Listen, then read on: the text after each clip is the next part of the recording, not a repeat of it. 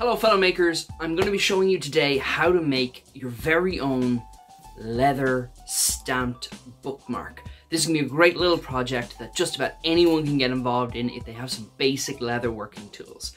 I got into leatherworking, making some Metro props. I started on some really simple stuff, slightly stitching, and I've slowly kind of built up what I'm working on. As I got bigger and bigger projects, I wanted to go back to the basics during the quarantine to make some pretty easy and pretty enjoyable bookmarks that I could give to my friends and family. So follow along and if you want to make one as well, I'm going to be giving you a full list of everything you're going to need and some of the great places you can get some tools. Because people often ask me, where do you get your tools? Where do you get your leather? And I'm going to give you a full list of everything you're going to need. So stay tuned and find out. Before we start, we're going to need plenty of tools. Now, most of these tools are going to be pretty starter friendly and you can pick them up on Amazon, through leather stores, uh, AliExpress, eBay. Um, I've been doing most of this since the quarantine, so just about everything I've gotten, I've pretty much got online. So let's go through some of the tools now. First thing you're gonna need is a groover to get all those fine lines. Then a beveler, and next up all your burnishing tools. One electric, one manual. Next up is your hole punch to punch right through the leather. Then, a good selection of sharp knives, you're going to need this to punch through then a nice set of stamps. And finally a hammer, some contact cement and a good hammering surface. So for this project we're going to need two types of leather. There are pretty much two types of leather when you really get down to it. There's veg tan leather and then there's chromium tan leather. So if you're looking around your house now and you see some upholstered furniture or some leather clothes, chances are that's chromium tan leather. I'm to show you some now. So chromium tan leather is this, much more shiny, much more processed. So during the tanning process, what happens is this is treated with very, very heavy chemicals, most notably, as you can imagine, chromium. And this basically strips an awful lot out of it and kind of gives it a much more processed look. It's much more effective, it's much quicker, and um, the, the chemical and the damage done to the leather is not substantial. It, it doesn't make it worse, it's just different. So for things like this, you wouldn't really tool them, you couldn't really stamp them or carve intricate patterns into it, but you could make a bag out of it, you could wrap it around a sofa, you, you could do just about anything with this. Most of the leather you think of, you think of chromium tan. When you smell it, you smell a more processed, it smells an awful lot more processed, like it's just come from a factory. So that's chromium tan leather. And so that's what we're going to be using a little bit of this. And then you have veg tan leather. Now veg tan leather, let's just get this open here.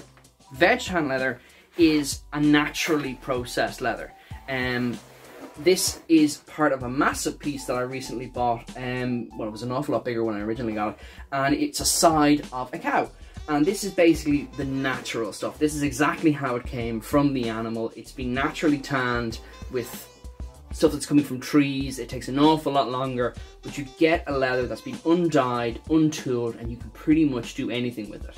So when we're actually working on our bookmark, we're going to be able to use this to stamp or to carve. And then for the chromium tan leather, what we'll be able to do is we'll be able to add a nice process back to it. All right, guys, we've got our tools, we've got our leather. Let's get straight into it. We start out by measuring out how big we want the bookmark. I went 20 centimeters by 6 centimeters. You use a little awl to just measure it out and just cut small little lines. We don't want to hurt the leather, but we just want to be able to see it for when we go back with the knife. Look at those fine lines, you can see it perfectly, all ready to be cut. The awl is perhaps the most useful leatherworking tool you can possibly imagine. It's literally a pointed metal stick and it is the best thing you'll ever use. It creates little holes for when you're stamping, it marks edges, it just opens things up. You'd be so surprised at something so silly as a little metal awl can make all the difference when it comes to leatherworking. That's why I absolutely love it. It's my favorite leatherworking tool because you'd be nowhere without it. You really would be nowhere without this little piece of pointed metal. Take your ruler now and we're going to start cutting out the leather. Take nice, easy strokes. You don't want to go too hard on this. You don't want to damage it more than you have to. Take easy strokes, hit it a few times, and you'll finally punch through. Leather can be quite tough, so make sure you're using a strong blade and change those blades out regularly. You don't want to be doing this 10 times, 13 times, 14 times. It'll ruin the whole look. make sure you just do a final cut, make sure you get those edges nice and straight. Now it's time to take the beveler. The beveler is used to take off the hardness of the edges and smooth it out so it's nice rolling edges. This is a really enjoyable part of the process and a beveler will never see you wrong. Take your time and enjoy it.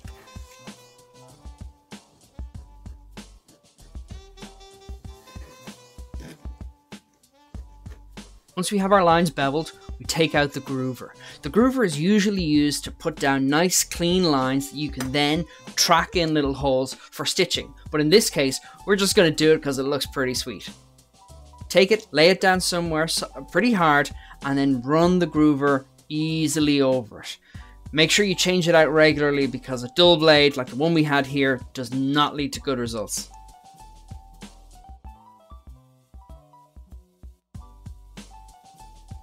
Unfortunately, I hadn't changed out the blade in a while, and you can see it actually did a bit of damage. We'll still keep going, but I'll better make sure I change out those blades in future. Once that's done, we apply a little bit of water to all the edges and we're going to start burnishing. Burnishing is essentially heat on the leather, which essentially polishes it and hardens it up. Otherwise, you have really fleshy ends to everything, and it's not going to work well. Here we're using the manual version to heat it up and basically seal in that edge. You can use a manual version or apply a little bit of water and hit it again with an electric one. I personally swear by the electric one attached to my Dremel, and I use it all the time. It gives a great polished edge. There's an entire art in burnishing, and on lots of other projects this could take 10 or 13 other steps, but right now we're going to do it nice and simple. A short word on stamps. Stamps are a nightmare, and you're going to make a lot of noise, and you've got to make sure you have a very, very solid surface to stamp on. So if you're just stamping on an uneven surface or a not hard surface, you're not going to get in deep. So the core requirement for stamping on leather is you need a very, very solid surface. An awful lot of people use quartz or chopping boards. I'm using a piece of acrylic, um, very, very thick acrylic that basically can take a good wallop. And then you want to, you want to wet your leather. So make it nice and moist. Not too, not, you don't want to soak it because soaking leather can do a bit of damage. But you want to make it nice and moist and then you start the stamping process. So let's get stuck into that. So now we have our leather we have our burnished edges. We've beveled the sides. We've added a little, little divot here, which is nice. And an awful lot of these, I really should have changed the blade, but that'll probably clean up an awful lot better once we dye it. But now, let's get into stamping. So we want to get a little bit of water and just get the leather moist. You can see it'll just suck it right up and we'll get the whole thing going.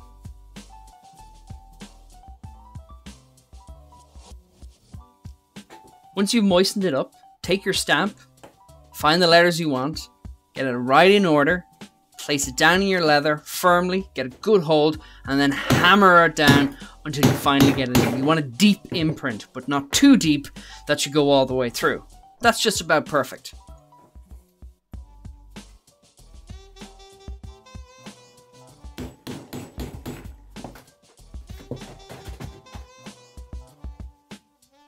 You really need to make sure that you have a strong surface to hammer on because you're going to be pushing deep into the leather. If you have a movement or you underestimate it, you can do some serious damage. So really take your time and plan out each and every hammer blow. Another part of this project that we can work on is using some stamps. Now an awful lot of these stamps, it's actually quite helpful to heat them up first, put them on then a wet surface and then just smash them down as hard as you possibly can. Otherwise, they tend to go down, but they don't really have that crisp outline. So we've got our stamp, we've got our lighter. That's just about, needs a little bit more water. Give that a little bit more water. Let it soak in. And then we'll just light this up. Stamps are a great way to work with leather. You can get them in all different types. You can 3D print them. You can custom order them. There's so many different variations and an awful lot of sculptures and car carving work are actually done with stamps. Uh, you wouldn't think, you think they're done like with lasers or something like that, but an awful lot of it's just different stamps done over and over and over and over again to kind of give it different effects. It's really, really beautiful. So that should be heated up now. Don't want to get too hot because the whole thing's metal and conducts heat. We'll place it down. Just gonna hit it.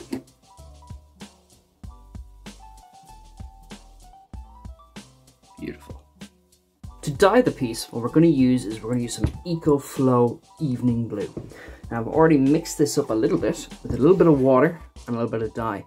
This kind of leather dye, it goes a long way. And if you're working with this kind of stuff, you need to be really, really careful because it will literally get everywhere. It will literally get everywhere.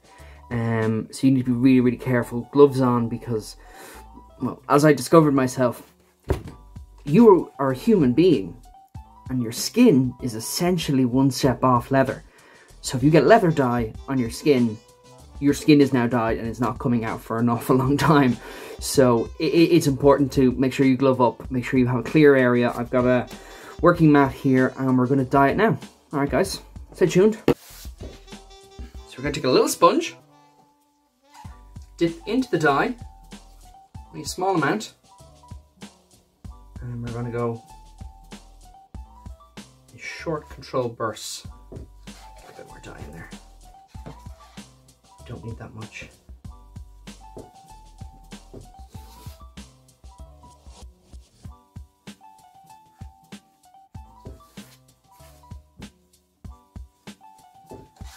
Let's make sure we get our edges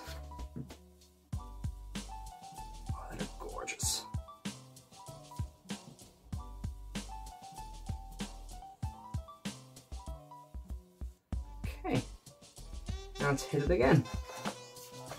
I want to build up the layers here. So go from a stronger layer now. Get that, that in there this time.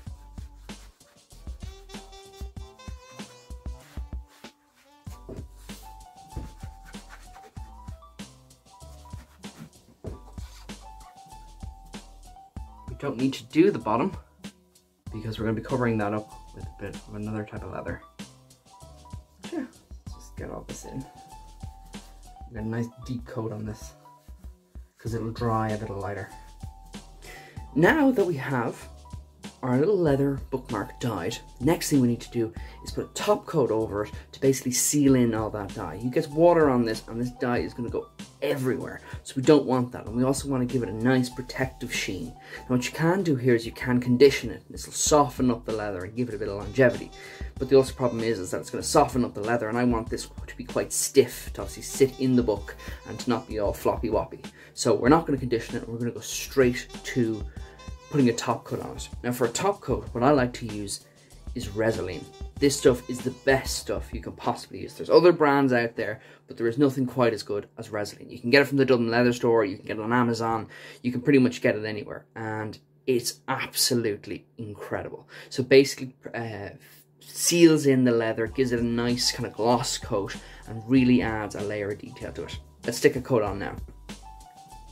Just apply some nice, even coats Resolene is a brilliant material. You can get it in the Dublin leather store and it gives the best finish I found on leather products. It's just it's just perfect. I absolutely love this stuff.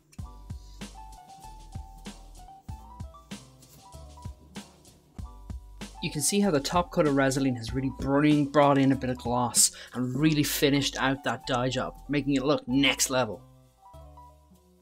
So while we're waiting for the Resolene to dry and get that beautiful top coat on our leather, we want to back the leather with some chromium tan that we talked about before.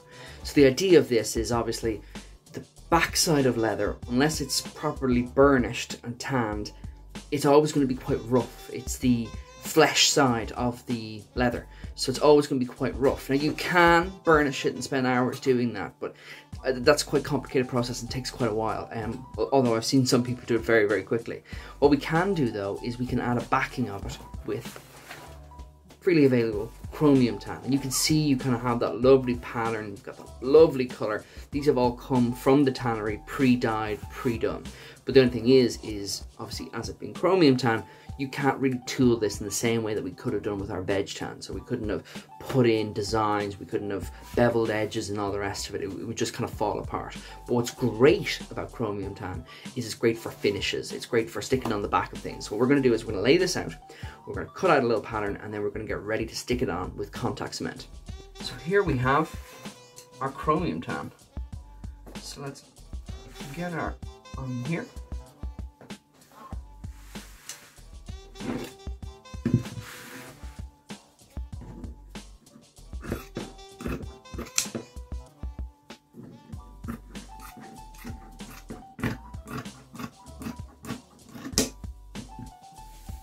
Now we've waited about 15-20 minutes. The first coat of Resolene is done and we have our backing cut out.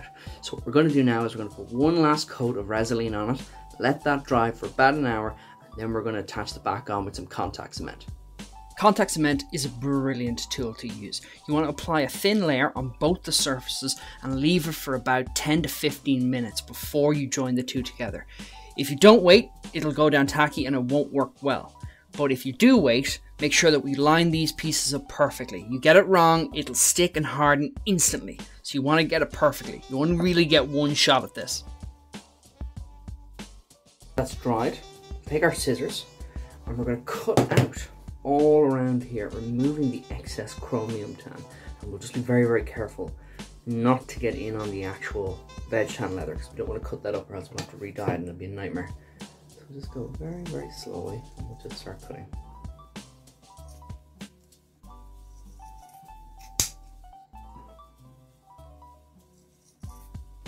Use the hole punch to punch a hole right through the leather and the chromium tan. That'll give us plenty of room for our tassels. So for the tassel, I've got some buffalo hide rope. I think I picked this up in Søstrene Grene in Dublin, so you can just go in and you can pick some up. I don't think it's only a couple of euro, and it's, it's quite good, and it's actually nice, makes a nice little tassel. So we'll measure out a small bit. We don't need a huge amount, about 10 centimeters, there, thereabouts. And take our scissors, snip, and then we have our perfect piece. We will take our bookmark, get it just like that, twist it, take the loop dent, put it through the hole we just made, bring it up, then take the two other ends, and then just locks it into place. And then to make sure they don't go anywhere, we'll tie two small loops and they'll just look great.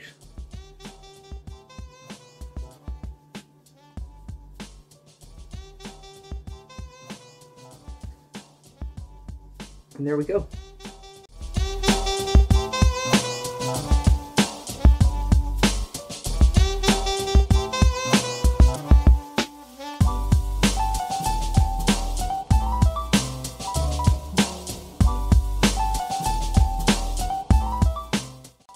So overall, I'm pretty happy with it. It came together quite well. The only kind of issues I had was, is when I did these sort of edges, the tool was a little bit dull. I have to replace that. It's only a minor thing. I just never did it when I started this.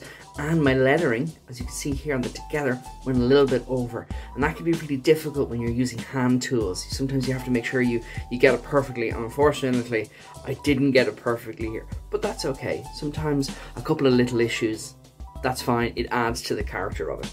Guys, I really, really hope you enjoyed this. This was just a fun little project that if you have some basic leather working tools, you can do this. It's a bit of veg tan, bit of chromium tan, bit of buffalo hide, and then basic tools and a couple of finishing dyes. That's all it is. I hope you guys really enjoyed this. If you have any questions for me or you want to ask about any other crafts or creations, please hit me up afterwards and we'll go through it. Guys, have a great day.